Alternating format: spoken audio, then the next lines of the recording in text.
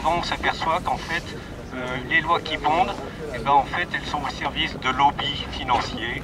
Euh, euh, il y a eu un exemple il n'y a pas très longtemps, l'histoire des graines naturelles. Les paysans ne vont plus pouvoir utiliser les graines qui viennent de, leurs plantes. Ils vont devoir acheter les graines de Monsanto et tous, tous ces gens-là. Et s'ils veulent utiliser leurs graines, ils vont devoir payer une banque pour financer Monsanto. voilà. Oui, bon, ben voilà. Alors il faut arrêter de, de, rester dans un système où on fait confiance à des gens qui en fait nous trompent et puis qui sont au service des lobbies, des financiers. Tour de parole libre.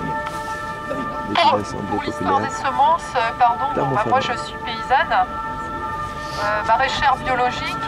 Et oui, bon c'est passé, mais il n'est pas trop tard. Et là, euh, la Confédération paysanne commence à travailler sérieusement et quelque chose très très vite. Et puis après tout, euh, même si c'est illégal, moi je sais que personnellement je continuerai.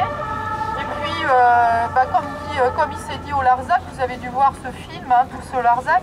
C'est un super exemple de travail en commun, je trouve. je retrouve un peu, un peu ça là aujourd'hui.